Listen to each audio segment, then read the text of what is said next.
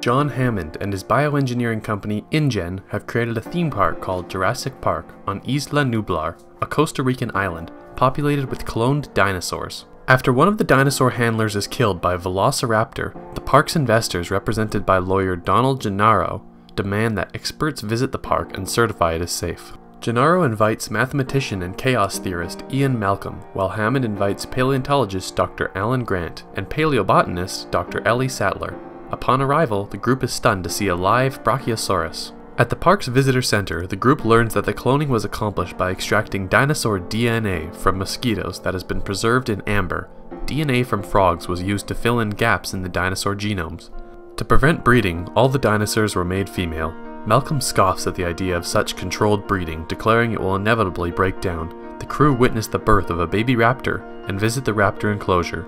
During a luncheon, the group debates the ethics of cloning and the creation of the park, with Dr. Malcolm giving a harsh warning about the implications of genetic engineering as a whole. The group is then joined by Hammond's grandchildren, Lex and Tim Murphy, for a tour of the park, while Hammond oversees the trip from the park's control room. The tour does not go as planned, with most of the dinosaurs failing to appear and the group encountering a sick Triceratops. The tour is cut short as a tropical storm approaches Isla Nublar.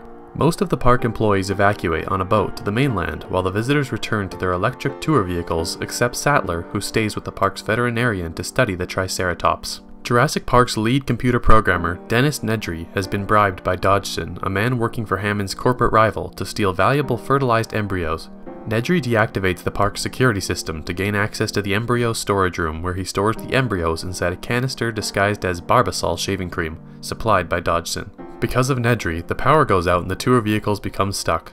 Most of the park's electric fences are deactivated as well, allowing the Tyrannosaurus to escape and attack the tour group. Grant, Lex, and Tim escape, while the Tyrannosaurus injures Malcolm and devours Gennaro. On his way to deliver the embryos to the island's docks, Nedry becomes lost in the rain, crashes his Jeep Wrangler, and is killed by a Dilophosaurus. Sattler assists the park's game warden, Robert Muldoon, in a search for survivors, but they only find an injured Malcolm before the Tyrannosaurus returns. Grant, Tim, and Lex take shelter in a treetop. Later, they discover the broken shells of dinosaur eggs. Grant concludes that the dinosaurs have been breeding, which occurred because of their frog DNA. West African bullfrogs can change their sex in a single sex environment, allowing the dinosaurs to do so as well, proving Malcolm right.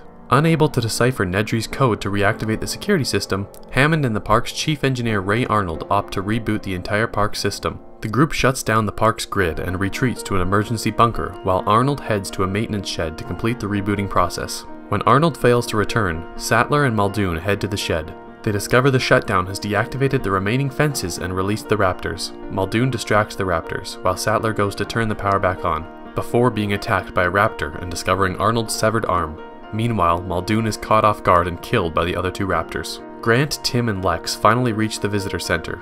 Grant heads out to look for Sattler, leaving Tim and Lex inside. Tim and Lex are pursued by the raptors in an industrial kitchen, but they escape and join Grant and Sattler. Lex restores full power from the control room, allowing the group to call Hammond, who in turn calls for help. The group is cornered by the raptors, but they are able to escape when the Tyrannosaurus suddenly appears and kills the raptors. Hammond arrives in a jeep with Malcolm, and the entire group boards a helicopter to leave the island.